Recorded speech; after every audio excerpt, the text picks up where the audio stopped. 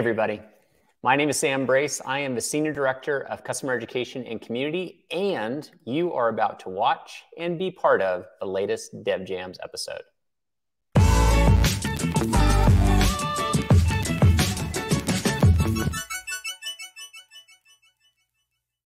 So, in this episode, we are going to be talking with John Reilly. And John, he is a developer that's typically been doing lots of things in the open source space. He's tied to software engineering. He's done some great stuff for his overall brand, understanding what he's doing in the development space, sharing his learnings with people on his personal website. And what we're going to be talking about today is work that he's done with a platform called Docusaurus, which is a great way to be able to create sites, which is a React based site generator. And a lot of companies are moving to it for showcasing their documentation and being able to build that in quick ways. But what he's been able to do is create a plugin with Rehype and be able to incorporate Cloudinary into his overall Docusaurus presence. So this is a way that he can start being able to deliver all the images through Cloudinary. So that way they're optimized. They're also delivered through the content delivery networks that we work with and many other amazing things. And John, of course, is one of many that we've profiled on this overall Dev Jams podcast, which is where we talk with developers who are doing inspiring, innovative, interesting things with overall development. And of course, probably tied to images and videos because they're going to be using Cloudinary for those. That's why we're here. So, joining me for this episode is Jen Brissman. She is a technical curriculum engineer at Cloudinary and a prized team member of my team. So, Jen, welcome to have you to the program and talk a little bit with John. Hey, thanks for having me. so, Jen, talk to me about why you think this is going to be a good program. Tell me about why you're excited to talk to John today. I'm excited to talk to John because he's using Cloudinary in a, a pretty simple way, but it's a way that I found to be really creative and it's not one that I've seen very often. So I think this is an episode where it's not such a specific use case. So many people can watch this and take their learnings and apply it to what they're doing. So I think this will be a really helpful episode. I agree. I agree. And this isn't the first time we've dived into Markdown, into Rehype, yeah. and some of the concepts that we've covered and we'll cover in this episode. But it is to say there's a reason why we're covering it again because Markdown continues to be an amazing thing for people to be able to do to be able to author HTML and be able to work with it in certain ways. Rehype is an excellent way to be able to start handling a lot of the processing parts of it.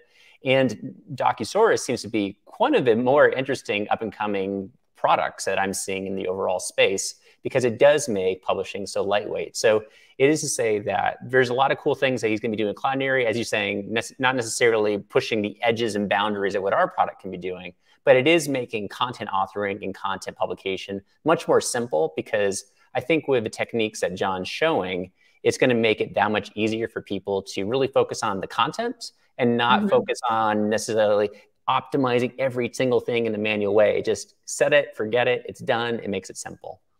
Absolutely. Yeah. And he's really just um, hard coding in using Cloudinary um, as the domain. And, and I, I just hadn't seen that before. So I know I don't want to spoil anything. I know we'll get to it, but I'm, I'm really excited to welcome John to the episode. Absolutely. Absolutely. And so one thing to point out before we jump into our conversation with John, of course, is that this is not the first time that we are doing our Dev Jams podcast. In fact, we've been doing this for years now. And you can see all of the great content that we put out with developers like John and many others at cloudinary.com slash podcast, as you can see on the screen here. So simply going through, you can go through all of the various archives of the content that Cloudinary provides in the podcast space.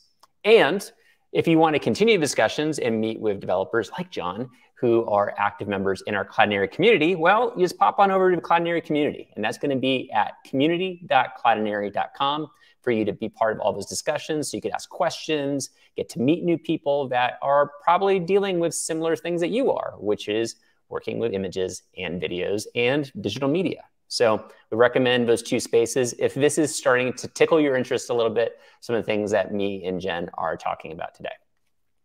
So without further ado, unless Jen, do you have anything else before I pop over to our friend John here? No, no, we, we, we've, we've been building it up so well. John, we're ready for you. Excellent. John, welcome to the program. Uh, thank you very much. Hi. So, I'm John. John, good to see you. Good to see you. So, John, tell us a little bit about yourself. I mentioned open source, I mentioned software, I mentioned plugin development, but of course, those are just little parts of the overall probably story that you have. So tell us a little bit about John. Yeah, sure. Um, so uh, my name is John. I'm a software developer. Uh, I live in uh, in London. Um, I work for for Investec, which is a South African bank who do some pretty cool tech stuff. Um, and I uh, I've worked in, in open source for like probably more more than ten years now, I'd say. Um, and a lot of what I've done has been like around uh, like the language TypeScript. Uh, I, was, I was a very like earlier adopter there, and um, like I've worked on a number of projects there that are particularly uh, have, have been have been useful as part of a TypeScript's journey, like DefinitelyTyped and, and TS Loader, which like, brings together like Webpack and uh, TypeScript and things like that. Um, but uh, yeah, one thing that I started doing also like kind of around at the same time that I started um, uh, like open sourcing was I started uh, blogging and um, like originally I started using um, uh, Blogspot, which was like I think Google's like a blog platform, which was which was out there and like it's super easy to use, and I used that quite happily for like many many years. Um, but actually, like interestingly, probably influenced by some of the stuff that we've been doing at Investec, which was like a very infrastructure as codey type place. Um, I, I was doing like infrastructure as code in like my day job, and my blog was still this like um uh, just like uh, HTML on someone else's website, and I was like, I should own my own content. And um, uh, so I, I had this, and also I'd, I'd really got into like liking Markdown, like the, years of like down the open source minds not that I, I, I wrote like like Markdown like a native, like better than I wrote anything else. And so it was just like, it was the obvious for me, way for me to write stuff. And um, so I started like reaching around, looking for uh, for a way that I could uh, take take, uh, take take my stuff and and move it like literally into code. And there was lots of things like around at that particular time that, that seemed to be like filling that gap. Um, and uh, but the thing that was like most notable was was Docusaurus, um, partly because like it, it, like it fitted like really well, um, but also because like I, I looked at it, was like wait a minute, I've seen this before. Um, I've seen like lots and lots of Docusaurus sites like out there. Um, and you realize that just like tons and tons of like sites that you know and use, like um, let's say Temporal's uh, site, for instance, uh, they're built using Docusaurus because it's a very simple um, tool that allows you to build like it was originally designed for the, for the purposes of documentation. It comes out of like facebook out of meta. Like it was built there as like an internal docs tool but it kind of like evolved and became more. And the reason i got interested in was it because it has like a blog component to it and and that mechanism just like works really really well. So lots of people use it like for that as well um so yeah so i started using uh, like docusaurus and um although like a personal rule for myself for like many years, I was like, I will not, I'll just focus on things that I'm writing about. I won't like fiddle with the, the mechanism of writing it. Like I, I couldn't resist it. And uh, like I, I've, I've, I've, fiddled with, with, with Docusaurus as it were. I've, I've contributed a, like a, like a number of things, um, back to, uh, to back to Docusaurus. And I've written, so the thing that we're going to talk about today, like plugins for Docusaurus, which are, which are useful and I use like uh, on, on my blog. When I think cool. it, it, makes sense what you, what you, how you came to Docusaurus based on what you're describing, and it also makes sense why you're using Blogspot probably at the very beginning. I feel like we've all gone through that journey where we started a blogger, or we started a Blogspot, or we started a WordPress, or we started, that and then we find that maybe that worked, but maybe it's also where we found something that fits us more personally. And mm. as someone that is an open source contributor, to your point, like if you have the ability to do pull requests and contribute to the growth of something, that seems to fit who John is, in my mm-hmm. opinion. Mm-hmm. So I think it makes perfect sense why you would land on that as your platform for blogging and brand presence. And once again, very astute, you should own your own brand because if suddenly Google or WordPress decides to take something up or down, then it doesn't matter because you still own your domain. So mm-hmm. I think there's a lot of wonderful aspects to what you just described there. Now, mm-hmm. one thing I did want to ask you about with this, with Docusaurus, was from a from a developer side of things or a programming side of things, is there anything that really stood out to say this is why I should use Docusaurus? Because in my research of it, of course, it's React based. As you mentioned, it was coming out of some of the work that was coming from Meta, which makes sense because React did too. Mm-hmm. But was there anything that kind of tickled your brain when you're saying, oh, that's why I should be looking at it, particularly other than just the open source nature of or the, the temporal usage that you mentioned earlier? Yeah, it's interesting you say that because, um, like, I was intentionally like not looking oh, like.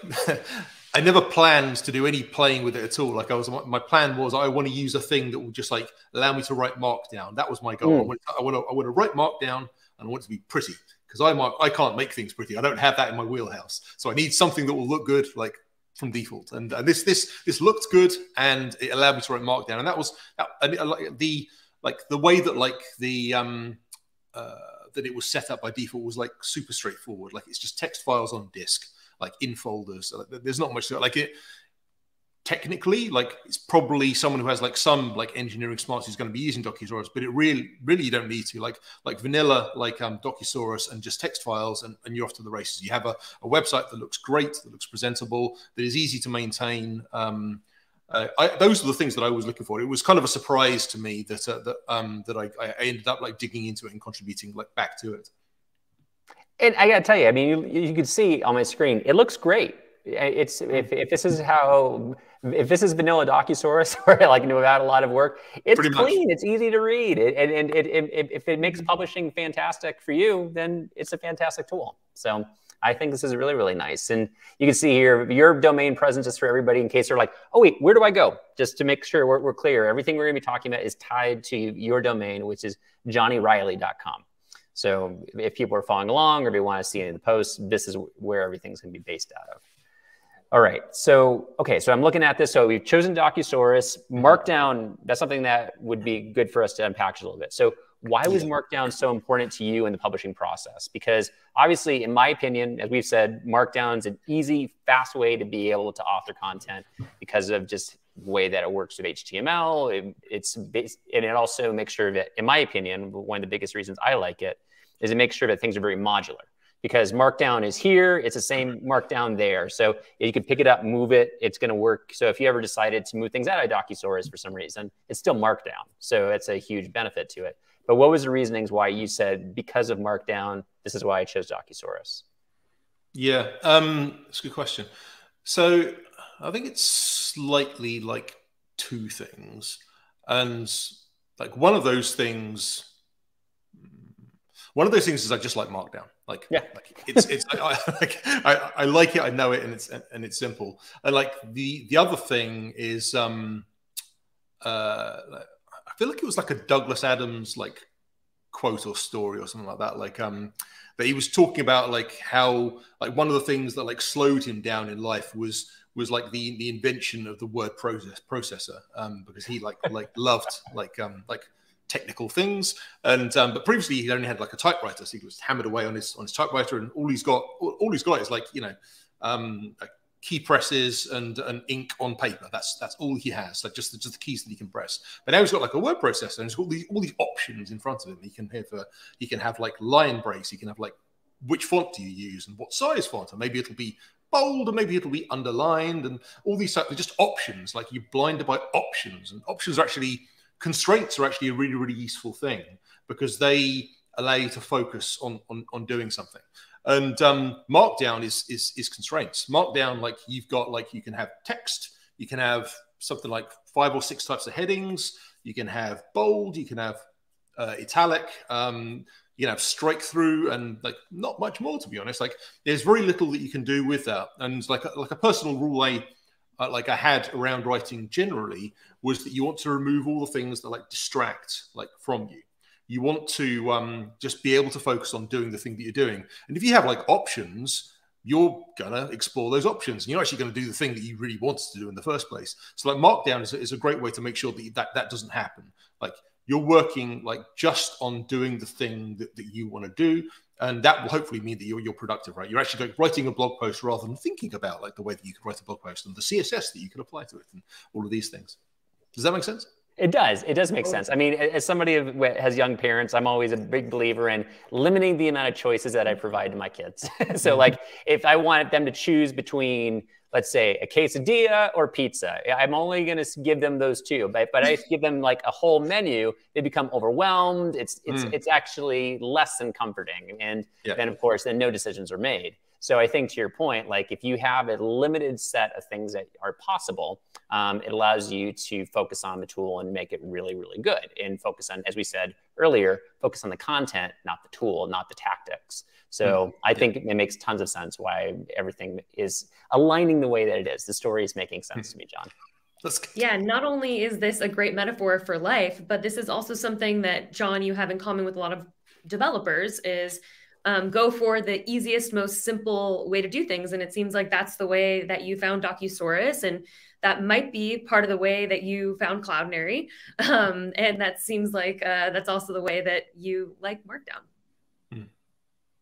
So, John, I'm interested. So can, uh, we've talked about Docusaurus, and I'm anticipating there's a world where now you've signed up, you've got everything running with your Docusaurus site. There is a, a period here, though, Cloudinary is not here yet. So how does Cloudinary yeah. get introduced? How does Cloudinary get be brought into this overall process? Yeah. Um, so I'm definitely a fiddler. And um, so like yeah so i'm always like noodling around on, on, on something and um i really like optimizing stuff like i really like taking a thing and seeing if i make it like slightly better um because then it's like better for everyone. And yeah. um i had my my blog going and it was working it was fine. And lighthouse scores like was a possibility. So like lighthouse scores for, for those that don't know it's uh, lighthouse is a tool that's um I think it originally comes out of Google. It's certainly built into Chrome, and it allows you to like evaluate um, like how your website uh, is doing along with various like metrics. Like it tells you how you're doing for like SEO, tells you how you're doing for like accessibility, tells you how you're doing for like performance, and like other things too that I, I can't always remember. Yeah, awesome. Um, and I'd plugged uh, Light. I, have been running my um, Lighthouse against my blog like here and there, and like looking at the numbers. That's quite interesting. And I worked out a way to get um, Lighthouse running on my blog every time I um, uh, I made a pull request. So actually, I should back up a little bit further. So my blog actually wasn't originally hosted on. Um, I mean, it was originally when I went to, to I was using GitHub Pages, which is like the built-in like hosting mechanism that exists on, on GitHub, and it's great. You get like this free website basically, and I, I was using that initially, and I, I really liked it. Um, and then I became aware that like um, I would make a change and um, I'd see that change like locally, but sometimes there might be a difference between like what it was like locally and when it was deployed.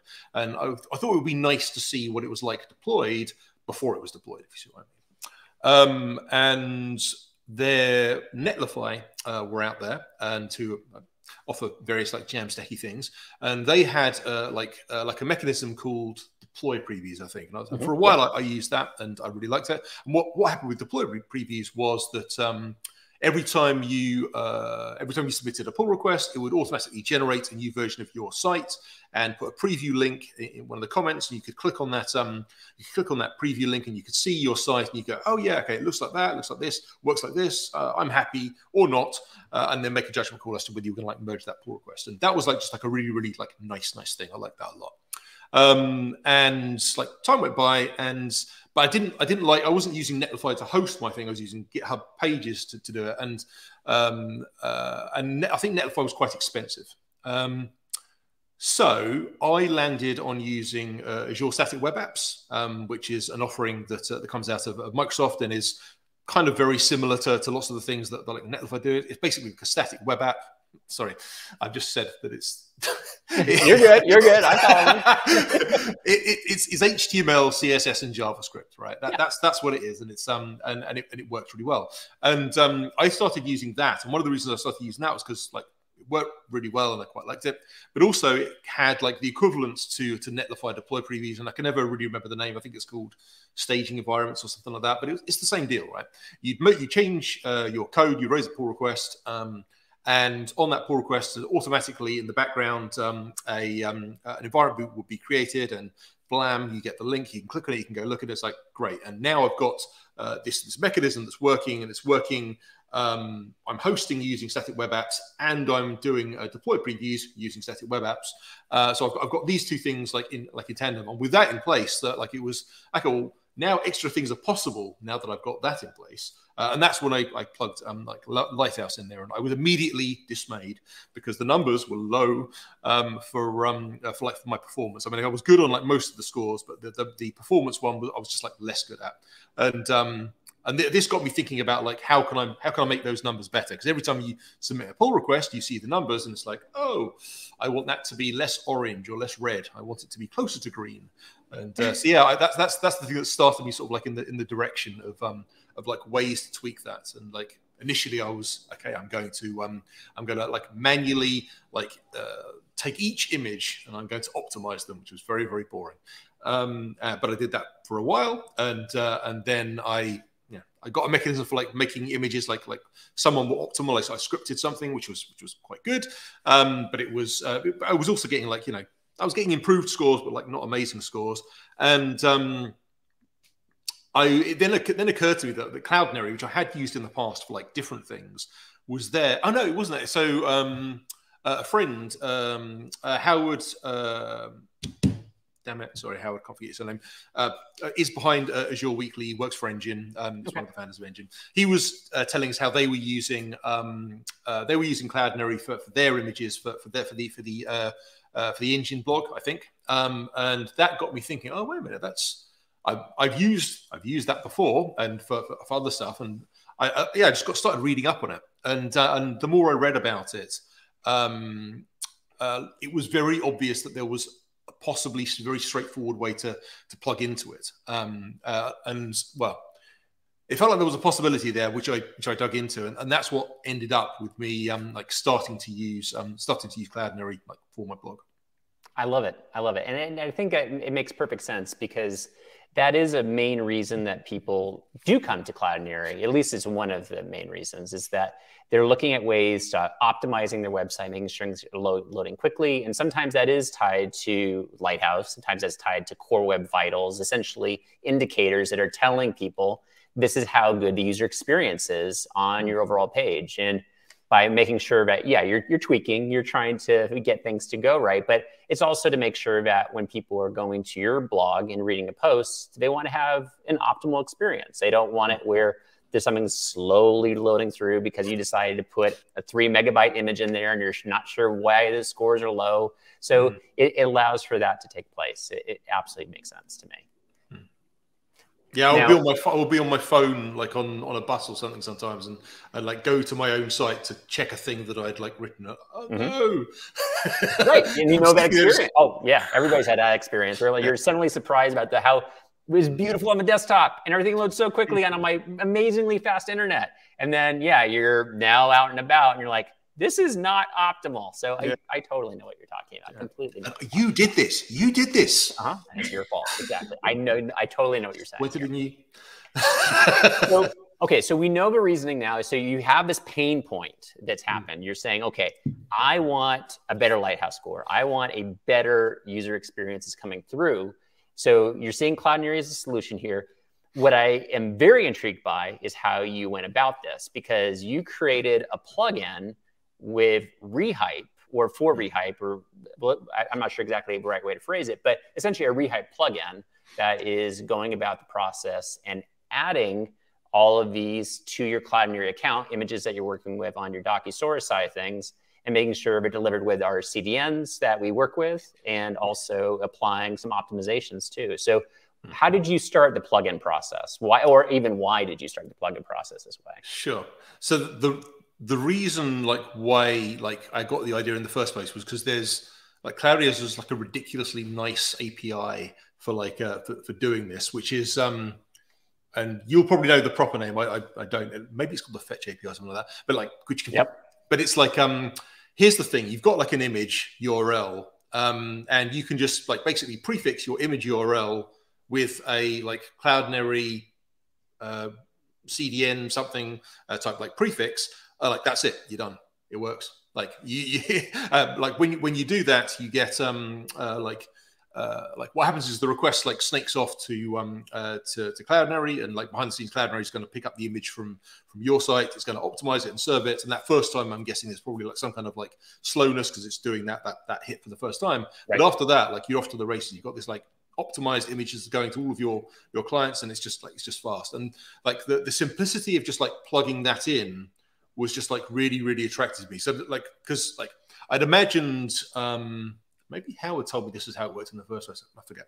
Um, but the like I'd imagined that if I was going to do something like this, what we probably need to do is I'm going to okay, I'm going to write some kind of script that crawls my my blog post, finds all the images. I'm to have to like some kind of mechanism to upload the images to the thing, and then I'm to have to go back through the the site and I have to change all the references. And I was like, that was yeah, I was open to that as an option, like incidentally, um, but it was like um, just turned out to be way simpler. I like, didn't have to do that.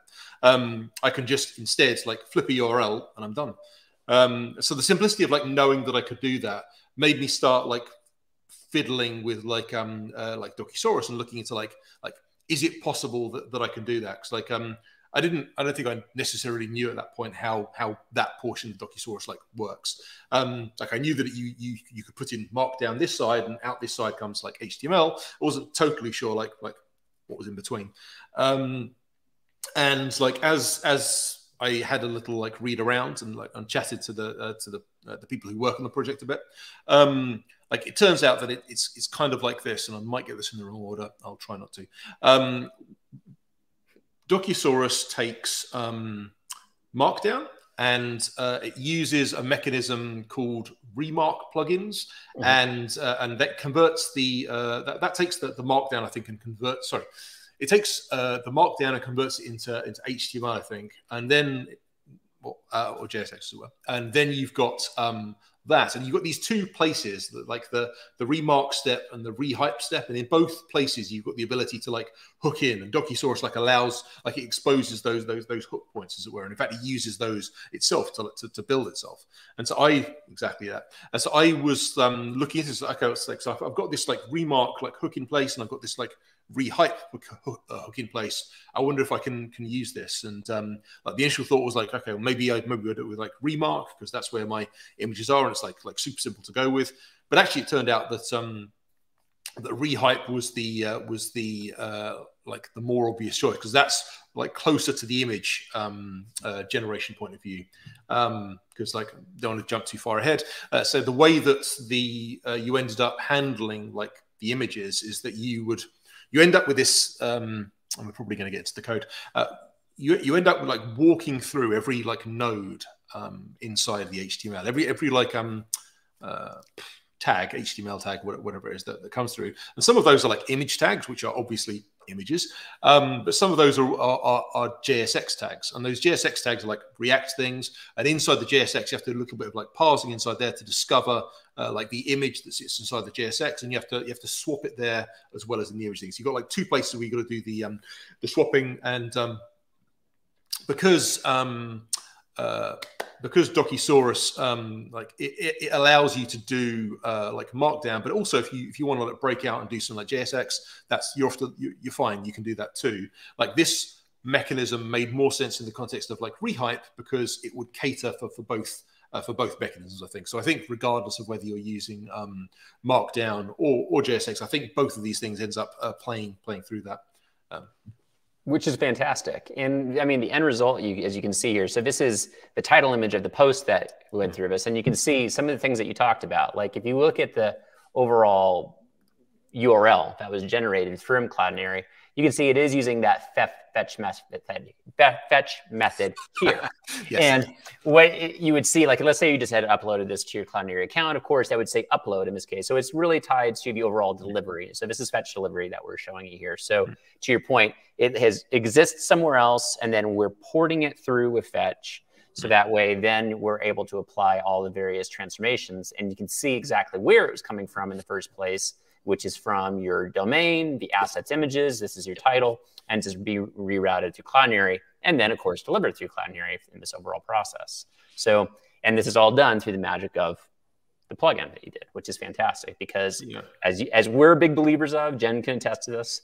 We're big believers of you should set it and forget it, meaning that you should allow all the automation, all of the behind the scenes to do the behind the scenes stuff. Mm. And this is doing that where you, when you publish something to your overall presence via Docusaurus, it makes sure it's doing all of this work behind the scenes for you. So this is great to see.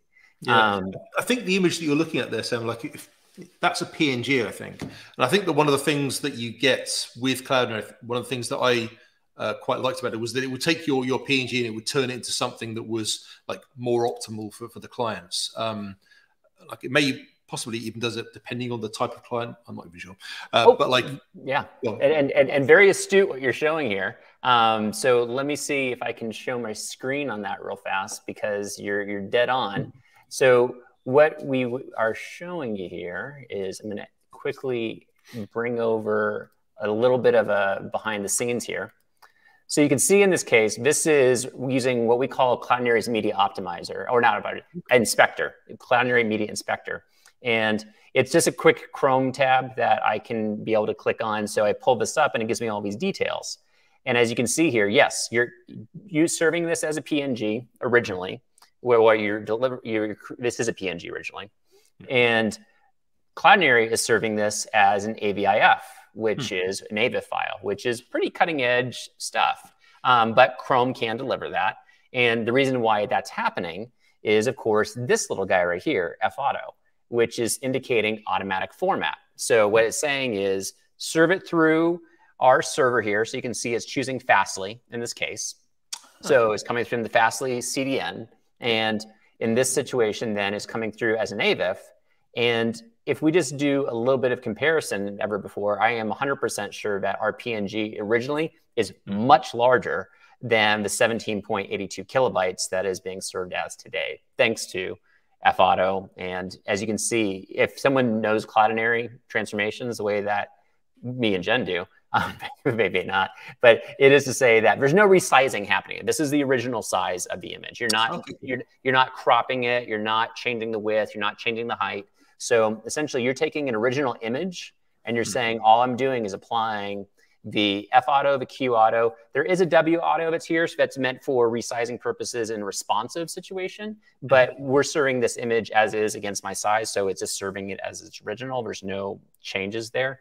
And same situation with DPR is going to be dependent there, but it is ultimately to say a lot of optimization is happening just with this transformation set you have. And mm-hmm. then it's not even where you had to upload them all to a new location and deal with migration. Everything's kept with your Johnny Reilly um, overall space. Mm-hmm. So everything can still live within your domains and your overall path that you have of assets, images there. So a lot of good things are happening right here behind the scenes. And just to add to something Sam said, the image is actually a smaller bite size, but it's not like made to be um, visually smaller. Right. Um, so yeah, it's optimized. But um, I have a question for you, John. So basically, as we know, Cloudinary is going to fetch the image from the original source and serve it to you. And in this case, as we've just looked at, optimized. But I happen to know something about you, something that you've said in another blog, which is that you're more of a fetch guy. You, you're a self-proclaimed fetch guy. Um, so you like fetch. Um, so this is uh, you, you, said this in a blog just about a month ago, uh, another blog about Cloudinary, where um, you were comparing to someone else's blog and you wanted to be able to do it with a fetch. Possibly, like, yeah, quite possibly. Yeah, yeah, very, very possibly. Um, do you know which which post it was? Like, I've. Yeah, yeah, I do. Um, so it is. Um, let me find it here. It's um, uploading images to Cloudinary with Fetch. Oh, um, yeah, yeah, oh, no, it wasn't. It wasn't uh, as recently. It was actually a while ago, but it was yes. in March, a couple years ago. This, um, yes, yeah, this was the, this was um because this is this is the, um I get the name confused. Yeah, so this is the this was the first time that I used um uh, Cloudinary, I think, for that one. Yes, and um that one I gosh, it was man, it was some years ago actually. Uh, and yeah. with that one, I was using the Fetch API in the browser to upload. So yeah, it, it, was um I was using the Fetch API in the browser to, to do an upload to um and I I think maybe even when I wrote that post, like the Fetch API was still felt relatively new or something. Like it hasn't been around for like forever, as it were. Uh, I do so yeah. So yeah, prior to like Fetch, there was what the XML HTTP what's it um thing horrible. Okay. Uh, Fetch is just like a very nice API. Um, but yeah, I, I I don't know if the if the fetch in Cloudinary like has like a, a relationship to the fetch in the browser APIs or not, or it, it may be that they are related things or, the, or they're different things. I don't know with similar names. Well, the reason I ask is because um, we don't see ton. I mean, people use Cloudinary in various ways, but the mm. way that you're using it is very fetch specific. And when we get into the code mm. in, in just yeah. a moment, yeah. we'll see that you've hard coded in that it's a fetch, and that's part of. So I was going to ask, is part of the reason you chose Cloudinary because you wanted to be able to fetch the images or is that just like kind of the way you started using cloudinary and that's how you've always thought of cloudinary oh no it's, it's more like um because like i'd um, i'd imagined when when i was thinking about this in the first place that I would probably be be using the Fetch API in the browser to do uploads uh, like like to Cloudinary, or have some kind of like script that would be doing it. Um, yeah. And but the thing that would the thing that would vaguely niggle slash worry me about that is like what if i fail to upload something like properly and yeah. the idea of it not being my responsibility i just hand it over to like cloud and say hey you go you go find it for me like that meant yeah. that um like i thought i thought Cloudinary would probably do a better job of that than i would necessarily so i, I had like greater trust in it um, if that makes sense yeah yeah cool okay interesting all right well let's take a look at the code and see how you made this all work sure uh, shall i share my screen yeah, that'd be great. Absolutely. Cool, cool. Uh, da, da, da, and let me know if I need to change sizes, and I will certainly do that. Sure. Uh, share screen. And we go. So, right. Hopefully, you can see um, uh, see my screen here, and this is um, this here is the uh, where we my my yes all, all Docusaurus um, all Docusaurus sites have um, uh, like a Docusaurus config file, which is like just as the name suggests, the way that you configure it. And so we've started here inside um, uh, inside my blog, um, and we're going and we're importing the the plugin that I ended up publishing uh, uh to do this. Uh, in actual fact, if we look at the uh, like the website uh, itself, you'll see that um, it started out slightly differently. But shall I show you the code of the plug? So, I, so I ended up publishing a plugin, but before I did that, I had this like an inline file that, that mm-hmm. sat like inside the blog post. Before I was like certain this is like a useful thing, and I've got like a one like that uh, in place right now. So this is a different uh, rehype plugin that I wrote that just lives like locally inside my blog. And a thing you can see that's significant about this, this uses um, uh, JSDoc, which is like uh, like TypeScript, but in, in the form of like um, uh, JavaScript uh, comments. And that's the code looks slightly different. So you'll see down at the bottom we've got like a module exports, and um, you'll see that we're using um, these these funky comment things which have like types hidden inside them. But this is actually like vanilla JavaScript, and that's how the plugin started out. If you look at the blog post um, that um, that is associated with this, you'll see if I tab over to this guy here. Um, you'll see inside here that I'm like this is this is what I'm building here. This is like a JSX. This is um uh, uh, this is that. Uh, but when it came to um, to deciding that the thing that I'd written in the context uh, of a blog post um, was like, okay, this is this is a useful thing. I flipped over and I decided to use um, to, to write a plugin and, and publish that plugin. So let me go back to here. And actually, let's do it inside uh, Chrome itself. So if I go to um, to the plugin here, and I'm definitely going to change the size on this because this is not going to be big enough for you. So it's plus that. There you go. And it's mega simple. It's like one file, um, like this this guy here. Actually, a couple of files. I exaggerate. Um, index.ts, like here's the root. Obviously, there's like not much in there. Not very exciting. Uh, by the way, is this big enough for you um, before I start talking? Yeah, absolutely. It? This looks great. Awesome. Um, cool. So the actual like guts of it, tests, yay. Uh, inside the plugin here, um, we, we import a type, our, um, our image or JSX node data. Um, but the actual like guts of it is this. So this is what's called a, a transformer, a, um, a rehype um, transformer.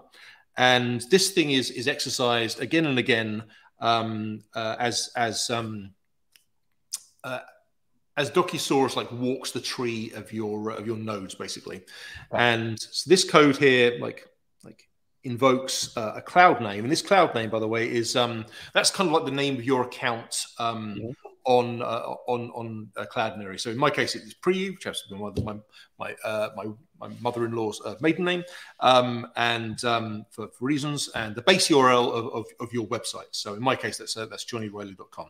Mm-hmm. Um, and then every time it comes through, it exercises this this visit mechanism for um, for our little visitor down here. So you see, we're creating.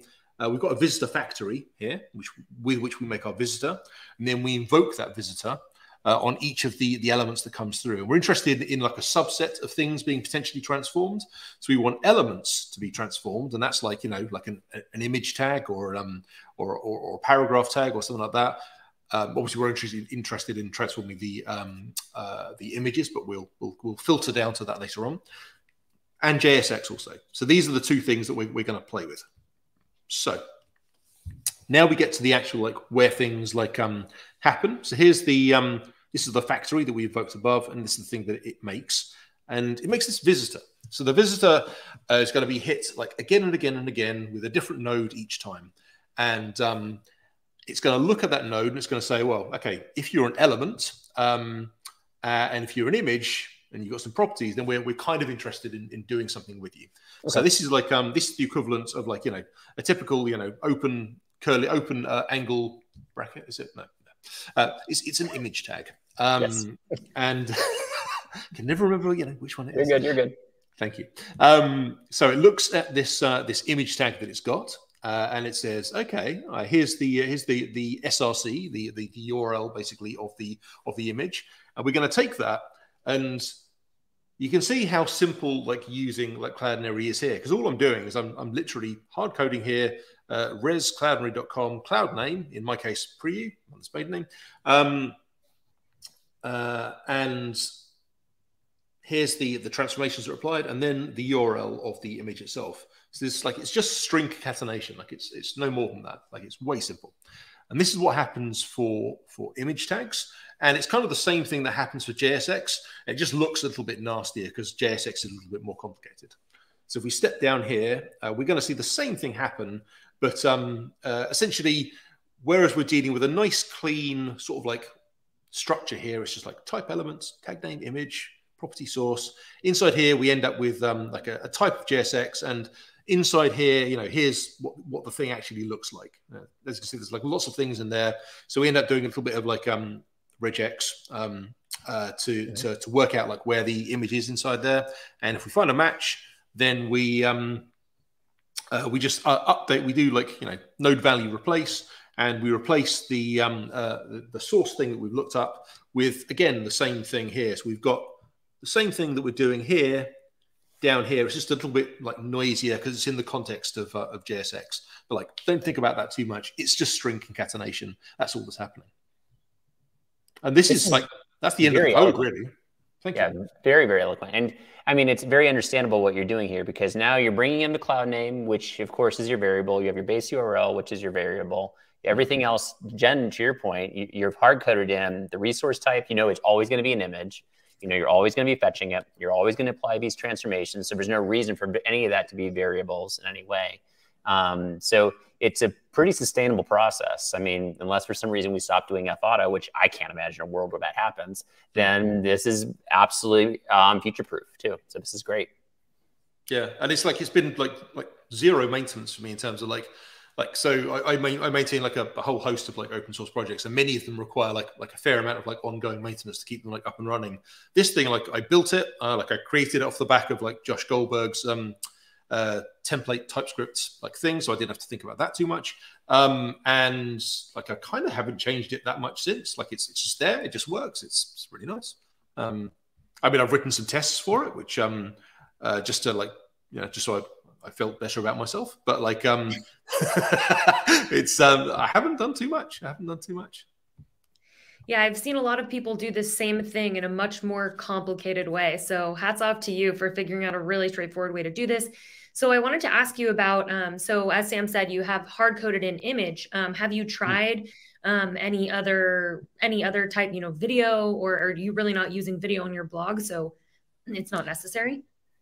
Um, so I that's interesting. Um, so I actually I didn't know that you you did anything with with video. Um, and I, I, I do have some videos on my site. So if you go to if you go to my blog, you'll see like a yeah, small number of like talks that I've uh, that I've done. Um, but there's not tons of them, and they're all on YouTube. I don't know if that would have bearing on it. Um, and um, yeah, but like I, yeah, I don't do I don't do tons with with video uh, at the moment. So yeah, not not really. Um, Okay. But what do you do with, with, video then? Like, um, like does it? Is there? Do you, do you have the equivalent of like a CDN for YouTube or um? This, is, this is a really fun. Yeah. I was gonna say Sam can go into it more, but the really short and fun answer to what do you do with video is pretty much everything we do with images. Uh, so yeah, that's okay. that's like a fun one sentence answer. You know, absolutely. And Jen's right about that. Like a good example is like those transformations that you're applying to mm. the images like F auto, Q auto, W auto.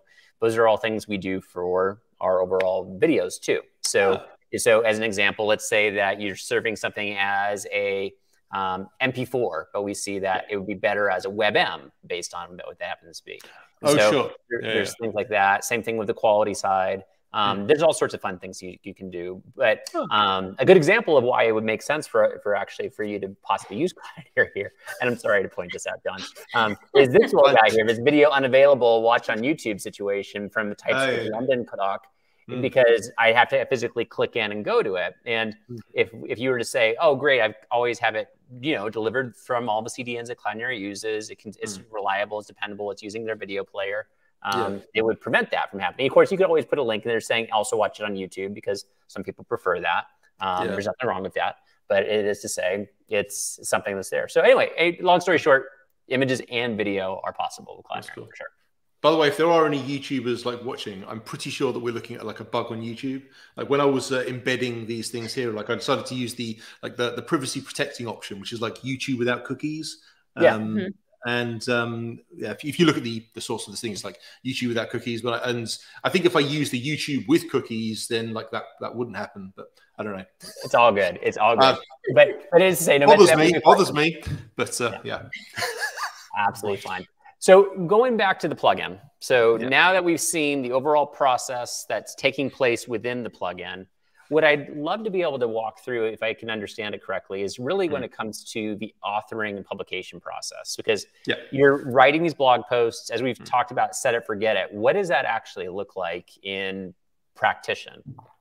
Yeah, sure. So um, probably the easiest way to do that is remember back earlier on we were talking about um, like pull request previews. So if I write um, like a, a, blog post, like that ends up being a pull request, and mm-hmm. um, so like in this case, I've just um, I've just raised a pull request with just like a like a like a marginal change, and I think I've tweaked the, the README file or something like that.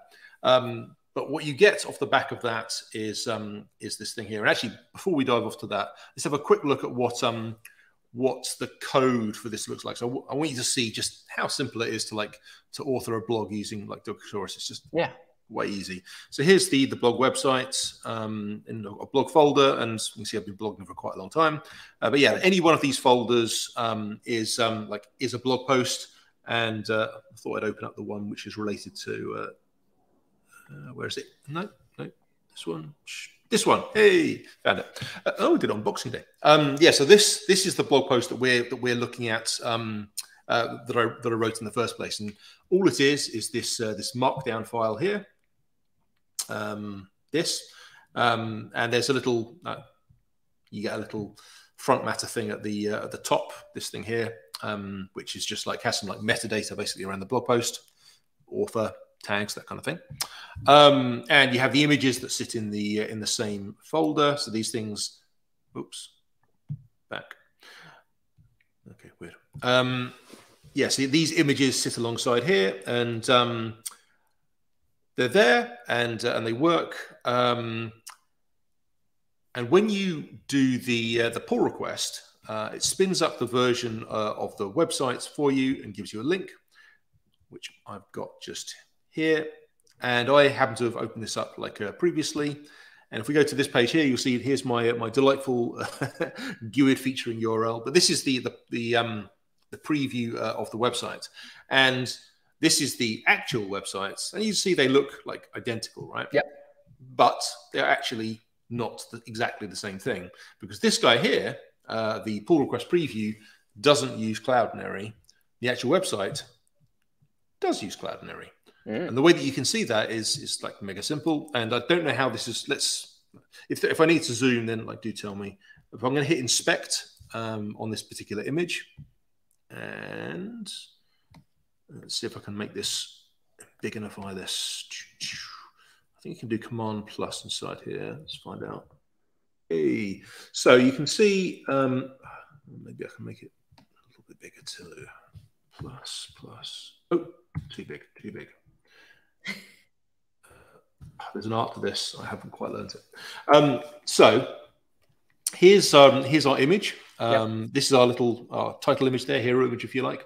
Um, and a couple of things to notice about it. The most important one being the source. So like it's looking, it's using a local image. This thing here, you can see it comes from the from this domain, from the same domain that it's um, uh, as the website uh, lives on, and it's just this this uh, PNG. Not much to say about it. It's also like worth noting for just for uh, any ways that it's got loading eager and fetch priority high. Those are just little cues that you can give to like um uh, to the uh, to the browser so that it makes sure that it loads this image like fast, which gives you like, like better performance for like core web vitals and, and whatnot. Mm-hmm. But significantly, you've got um you've got the lo- the image here and it's a local image. So if we now hold that in mind, and um, actually maybe hold the file size in mind, so it says it's like um, 28k there. I'm guessing that it's going to be slightly different when we go to the other one. Um, so if we go to here and do the same thing and do inspect, and again, let's see if I can. Oh, let's just remember where I am. That's delightful. Um, so now, if we look at the uh, the SRC um, attribute, you'll see it's slightly different, right? So right. the uh, the SRC attribute is um, it's got Cloudinary uh, prefixed in there, and uh, and the uh, uh, my, my mother-in-law's maiden name, um, and uh, the, the, various modifiers, and behind that the image. And so it's not coming from my blog at all. This is coming from from Cloudinary. And if you look at the um, the file size, it's this is 18k. So compared to the other one, I think it was like around 28 30k something like that so like it's about t- like a like two thirds of the size so you, are you're, you're getting benefit there uh, also um so yeah there's kind of like dual benefit here like one of which is like there's limitations like in the browser. Um, I think it may actually be like less uh, extreme these days. There's limitations in the browser, like the number of resources that you can get from a single website at a single time, like it's um, like it's bounded. Um, but you can go to other websites um, at the same time, different domains, and you can you can get from them, and that's what we're doing here. But we're also getting um, the image which is optimized, um, so it's going to be loading faster. And and I would also like, given that like Cloudinary is like raison d'être is like like images and also videos. It turns out, um, like it's going to be fast, right? Like, um, so you're, you're going to get that that perf gain too. So like that's how it works. Like if you compare this to this, like the only difference is um, the URL. Yeah. When and I would think in terms of how this is also set up. Let's say for some reason you're bringing over your markdown to a different spot, and it's not going to pull from the Cloudinary image. You always still have the base as a backup, or essentially as a fallback yeah. as too. So I think there's a lot of reassurance in using a plugin like this too. Um, oh yeah, like I really, I really liked um, like because like you know when you're, you're adopting like anything new, you're like you you want to like cover your back just in case something yep. goes wrong. And, like the idea that like I could just turn it off and like it can still like it still works like um like that was really like reassuring to me. It wasn't like I was moving all my videos from here to here and I was gonna have to like um like I was gonna have to do that on an ongoing basis or to make sure the things synced up or anything like that. I don't have to do any of that. Like it just it works. And if for some reason like I decide I don't want to use this anymore or something, or like um I can just turn it off and it will I will still have like a mechanism that works. It's just unplugging the plug in, I guess. And one thing that I want to unpackage also is is the concept of Open Graph because I've seen oh, you yeah, yeah. Open Graph so well with your overall mm. site, and Cloudinary is part of that too because. Mm. The way that, at least it seems to me, that you're doing your open graph tags, as we can see here with like the way that Facebook and Twitter and other sites are interpreting it, is yeah, that whatever you're defining as like your header or hero image that you have for your blog post, it's yeah. going to be associating that. But if we even take a look at like, there's a, this is just a generic open graph site that's interpreting this, so opengraph.xyz, mm-hmm. you'll see that with the meta tags that it's coming back with, saying this is how it's all working, you can see it's coming back with the Cloudinary version right here with all the optimizations tied to it. So it is to say that this has lots of ancillary effects when you're not only authoring content and providing an insight experience, but also when you're doing your promotions mm. and telling people that you wrote a new post or you're sharing it on Slack with coworkers or whatever it mm. happens to be. So there's a lot of benefits there too. Yeah, like I, I um, Open Graph was like this this mystery to me, like for the longest time. Like I, I started seeing like you know you, you paste a link somewhere, this this image would appear next to it, and I was like, what is that? How's that happening? It was some kind of some deep magic. I don't understand. Um, and like obviously it wasn't magic. Like there was something behind it. It turned out to be this this thing called the Open Graph like protocol, which I ended up like like writing about. But like significantly, it was um, like it's just like these meta tags that sit inside um, sit inside um, like websites and mm. uh, and those things there like allow um, like I think you you've got a phrase. Uh, something browsers, mini browsers, something like oh, that. micro browsers. Micro, micro browsers. Thank yeah. you. Um, yeah, it's like micro browsers, like like Slack and like um, mm-hmm. uh, Teams and and all these other things. They can use this to like interrogate um, like the site, and they can use you to like to generate kind of like a preview of what's there, so that you don't have to. So people don't actually have to like do the like the immediate work of like clicking on something to go there to find out what's there. They've got like some kind of like some kind of clue that tells them like here's what's there. And um, like Docusaurus had this built in like uh, already. So if I do again, like uh, here, let me stop sharing so you can show that you're showing here. Oh sure. Oh sorry, I didn't realize it. Okay, so if I do um, uh, inspect here, and if I roll up to the uh, to the header, so inside here, you'll see um, we're interested in OG stuff. I saw the Twitter card above. If you scroll back up. Uh, okay. Um, yeah, so you see where. Oh yeah, there you go. Twitter card. Yeah, yeah. So yep. And if I do OG image, there we go. So this um this property here is the thing that drives like the, the image that pops up. And I think there's other like meta things to say there. Yeah, so the description and the title and all that kind of stuff. Um, I wanted to use um, uh, I wanted to use the um, uh, the uh, the um, I, I, I, wanted to do those, and uh, and, and so I did those. Sorry, lost coherence there. I apologize. Yeah. cool. No, but I, I, it makes sense, and, and also the way that you're replacing it, because now you're saying replace this image with one that's going to be fetched from yeah. Cloudinary. It also makes sure that that's working perfectly for the meta side of things too. Mm-hmm. So I think it's an amazing example of how to weave it all together. And one thing that I'm really inspired by by what you've done here, John, because as we said at the very beginning, you're an open source guy, mm-hmm. and if I go into your GitHub repos, I can literally see every single blog post, all the markdown. It's there. So if I want to do a pull request on your blog, I can. Um, that's really cool. That's really, really cool. So it, it's, it's back to like, you know, you're picking up what you're putting down. You're, you're practicing what you preach. So, John, that's fantastic. Oh, thank you. And another thing is, you know, you've made this Rehype Cloudinary Docusaurus plugin and it's on npm so anyone can find this mm-hmm. um, so if you if you have the latest version of npm you can just install it it's that easy like that that concept will never not blow my mind but um, you know part of being an open source developer like you are is you've shared this so you've weaved this all together we've just discussed it in this episode and now you've let other people use this too so you're really you're really doing the good work there john oh, everyone everyone should be very grateful and i know i am Oh, thank you. Yeah, absolutely. So, and, and to back up everything that we just said here, of course, you can always just go to your GitHub. So that's going to be github.com slash Johnny Reilly, same as the domain. And you can access all of this stuff, including the Rehype plugin, and start using it on your Docusaurus side of things. So if you are using Docusaurus, if you're investigating Rehype, if you like Markdown, there's a lot of things that you can ultimately apply for this because it's not mm-hmm. necessarily where the things that you've done here have to only work for Docusaurus. It's just, it's meant for Docusaurus purposes. There's a lot of learnings that work for other things too, mm-hmm. if it's Markdown based or Rehype based in some way. So this is exciting. This is really, really exciting. So, John, final takeaways, anything else that you, we've talked about with the project that we maybe neglected or didn't talk about, or anything you just want to summarize it in a nice, tidy way? Um, what, what, what, do you got for us?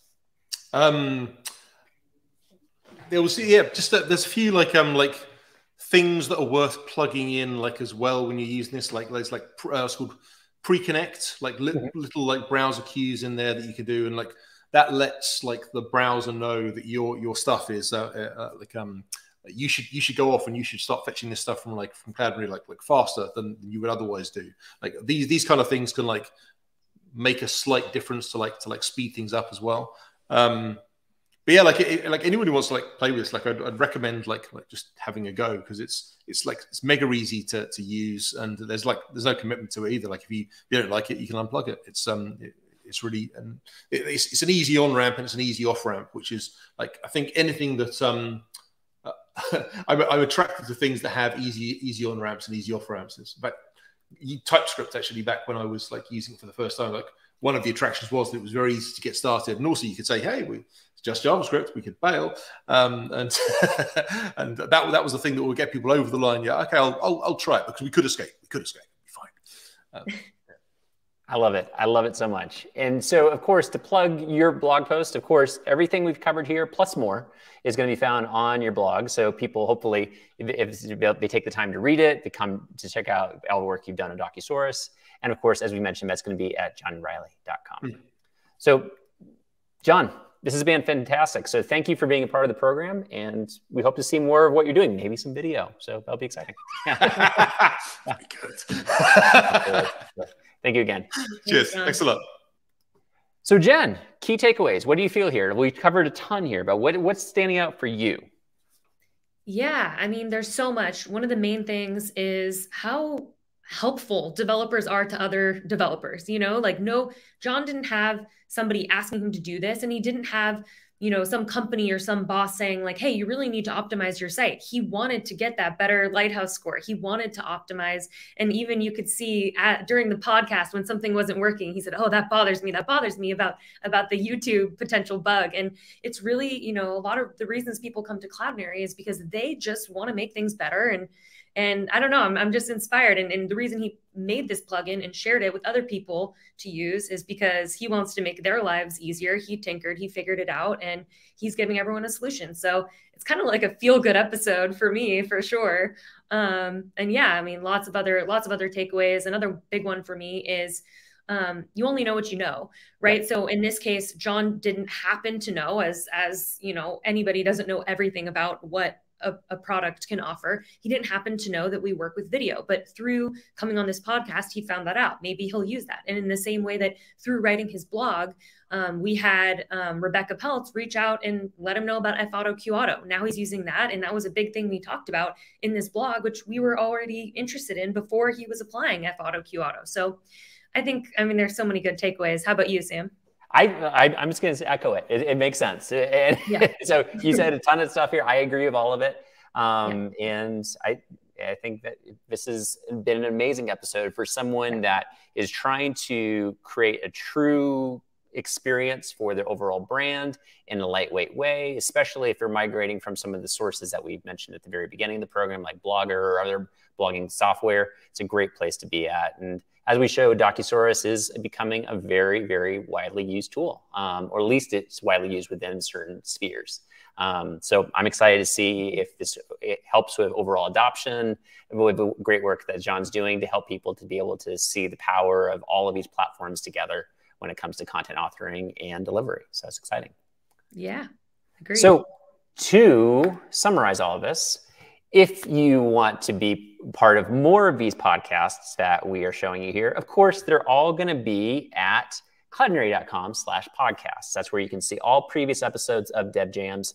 And the nice thing, of course, is that if you are a Spotify person or you're an Apple Podcast person or Google, you can see all the previous episodes there. And we have them all linked inside that case. And of course, all the transcripts, all the details are happening to be right there as well. So you can follow along at your leisure. And don't forget, we also have an amazing community at community.cloudinary.com. And that's where you can be a part of all the conversations that are taking place in our overall community. And if you're also a Discord person, great. We also have an associate Discord server for you to continue the conversations as well. And lastly, to help John plug his stuff, go ahead and check out Docusaurus. That's going to be at docusaurus.io. And of course, John's personal blog post with lots of great material, not just about Cloudinary, but about many things at johnnyreilly.com. So, on behalf of everybody at Cloudinary, so from me and Jen to you, thank you for being a part of this Dev Jams episode, and we can't wait to see you at future ones. So, take care and have a wonderful day. We'll talk to you soon.